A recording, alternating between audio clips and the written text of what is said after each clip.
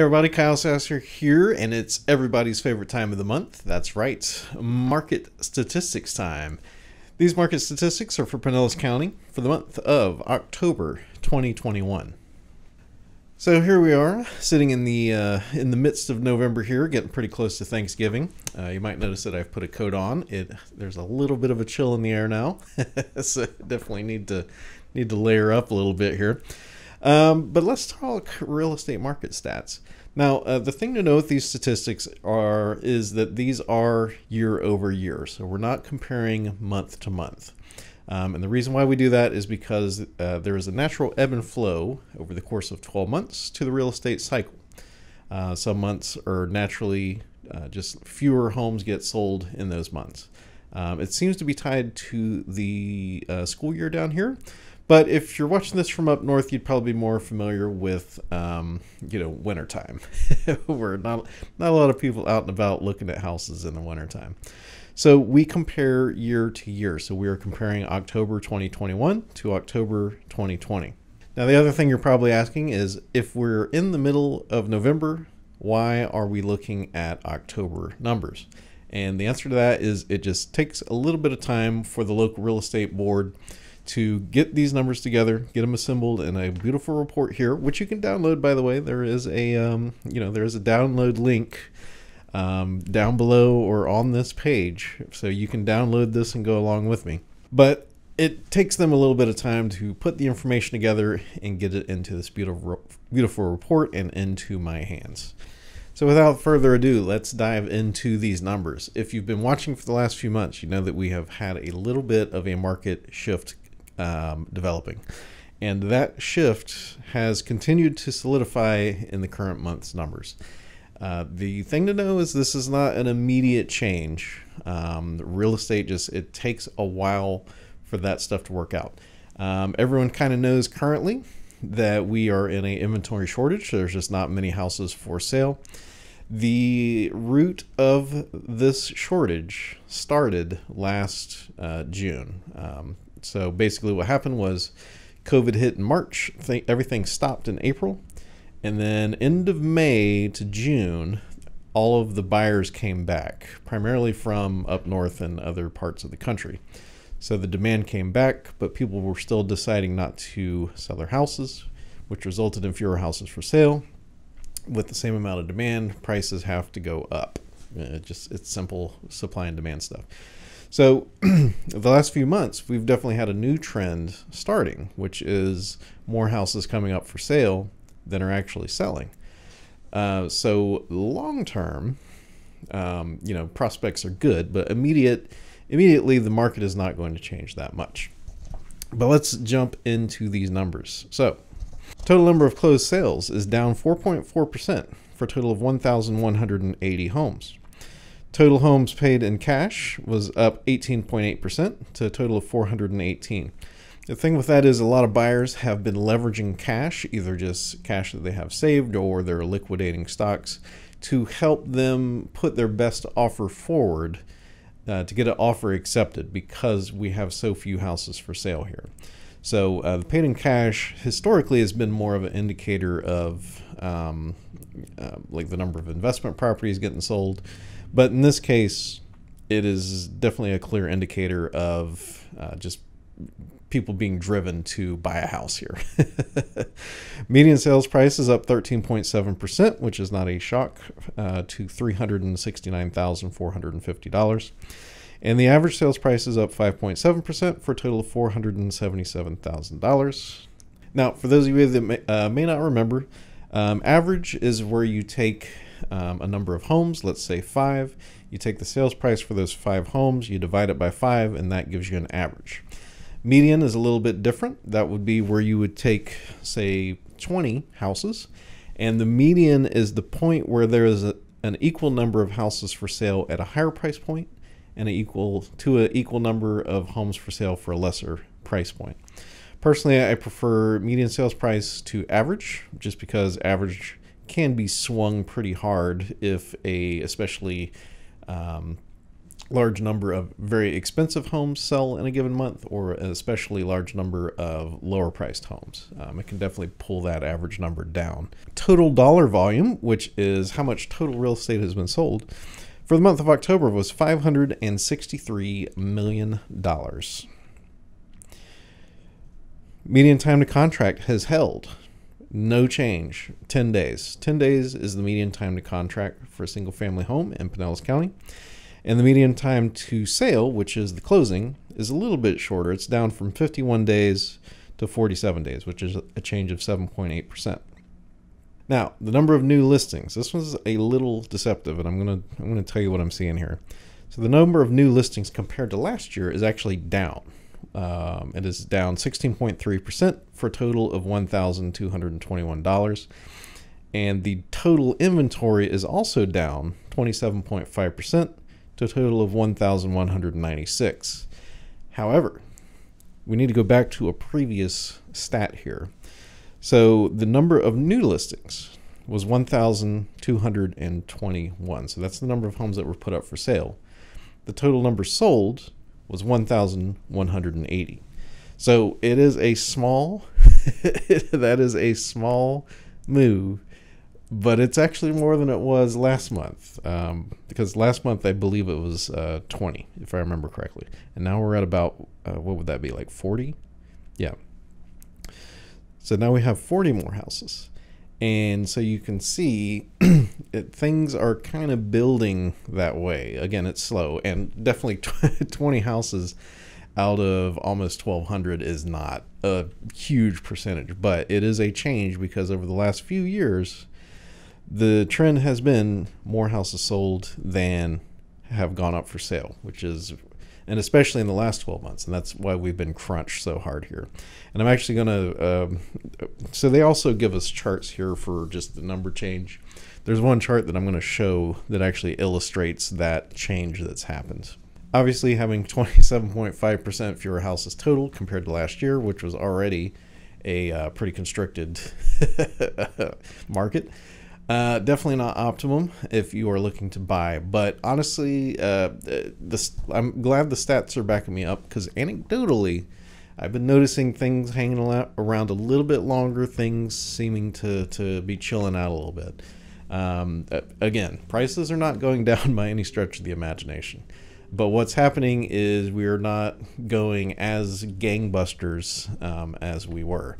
Um, the probably the best way to describe it is we're we're currently kind of leveling out a little bit. If if some of those numbers drastically change, like it could go either way. Currently, that's currently the real estate market's trying to figure out which way it wants to go. Um, and again, 20, 20 or 40 houses is not enough to make a huge dent in this. Uh, but if, if that changes, I'll be sure to let you know. Now, the one thing I want to show you that's interesting is uh, this chart for uh, inventory active listings. So this is the total number of active listings. So if we look at historically, we can go through here and we can see that its overall long-term trend has been down. And then, uh, you know, June, July, August, September is usually the low point. If we look at 2021, though, our June, July, August, September, and October has actually been where we've had the most inventory available. So that's that that change that that I'm saying. Like it's it's a market trend and it's small, but it's doable.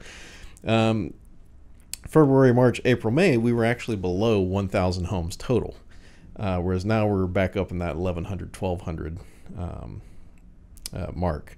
And historically, we've been around like 3,000, 2,500 ish. So uh, you can see we're definitely we're definitely low, but you know the inventory seems like it's on a some sort of trend now. Uh, like I want to hope it's an upward trend because honestly, it's pretty hard out there for buyers. I I definitely feel for y'all. Now one one thing I definitely want to do is dive into the um, the numbers by price point because a you know one or two million dollar house is going to sell in a little bit different time frame than a two hundred or three hundred thousand dollar house. And again, these numbers are heavily skewed because the the prices have changed so much in the last uh, last twelve months.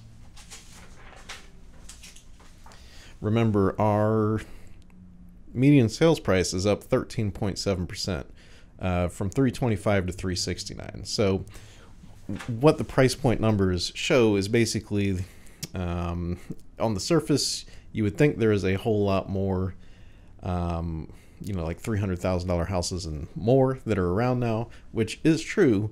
But the reason why is not because we've magically built, um, you know, a bunch of 300, 400, 500,000 dollar houses, but just in that 12 months, prices have slid up so fast that um, you know homes that would have sold for like 250 260 270 last year have now moved up into a like a like a 320 330 340 category. And that's true across all all price points. Every everything is is is up.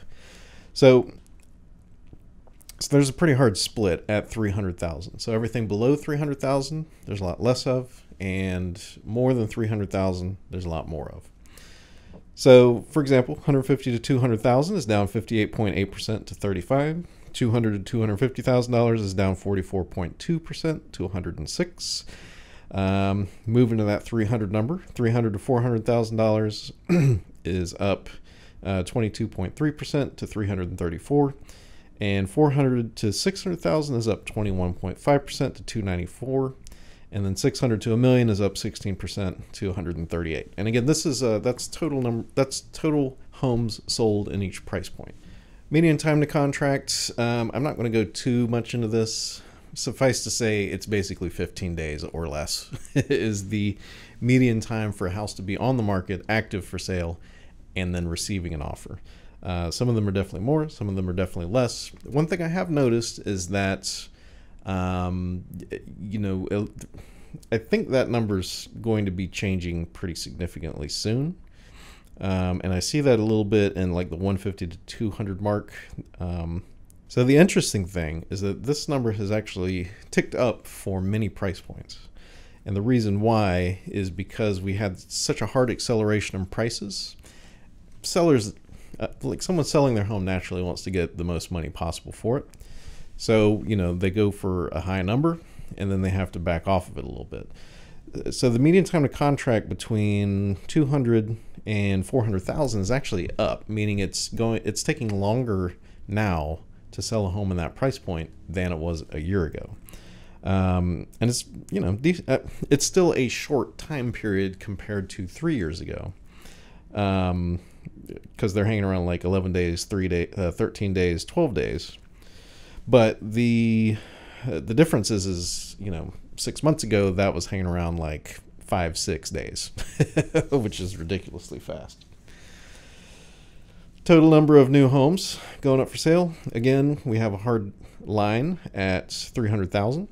So less than 300,000, there is a significantly fewer number amount of homes. So 250 to 300,000 dollars is actually down 34.5 percent for a total of 165. Three hundred to four hundred thousand dollars is down seven point four percent. So three hundred is that that that changing point. So uh, 300 to 400 is down 7.4% to 325. And then at 400 to 600,000, we're actually up 16.6% for a total of 330. And then 600 to a million, we're actually up 19.1% for a total of 168. I do wish that the, the realtor organizations would adjust these price points because the under 50,000 and the 50,000 to $100,000 price points are ineffective so far as reporting goes. there was one in each category. And then we have total inventory by current list price. And those are all down across the board, which matches up with the fact that our total inventory is down. Um, some a little bit more than others. Obviously, the under $300,000 mark are taking the hardest hit right now. Um, so 150 to 200 thousand dollars total available is actually down 57.6 percent. Total of 50 homes. 200 to 250 is down 57.2 percent. 250 to 300 is down 41.8 percent. So you can see if if you're looking for a house under 300 thousand dollars, it's still hard going. 300 to 400 thousand dollars is only down 11.3 percent for a total of 263 and 400 to 600,000 is down 19.2% for a total of 253. Um, so not as much pain there. Um, and again, we are still having more houses go up for sale than are selling. Not many, but it's a change. And then finally, we have what I like to call the doom and gloom page. Uh, so this is going to be short sales foreclosures, bank owned properties. Um, we have had that moratorium in effect due to COVID for a very long time. And so these numbers are suppressed. Um, so much, so much so that there is a crazy swing on the chart. I don't know if you can see this, but that blue line there just spikes. Um, so that's what happens when you only have like a handful. So the number of foreclosures in Pinellas County, there was a total of four, which is a 70% drop. Short sales, there was a total of one, which was a reduction of 80% compared to last year. And that outlier is the change in the median sales price. So, uh, so short sale is when the property owner owes more on the house than uh, the house is worth, and so they have to negotiate with the bank for a short sale, meaning that the proceeds of sale is going to be short of the ability to pay off the mortgage. So the median sales price last year was two hundred fifty-five thousand, and and there was five. There was five short sales last October. Um, median sales price two fifty-five. This year there was one at one point four seven five million dollars. so that's why that chart. That's why that chart just zoop. All right, so let's uh, let's pack all that that up a little bit into a nice little little bundle here. So the trend of more inventory coming on the market is holding. Um, it's slight. In the case of Hillsborough County, we've had more. Uh, in the case of Pinellas County, it's slight, but it is something. Um, it's definitely some improvement so far as home inventory goes compared to the previous, uh, you know, few years. Now, how long is that going to take to really have an impact on the market? Uh, the answer is it's going to be a while, uh, barring other uh, unforeseen catastrophic circumstances.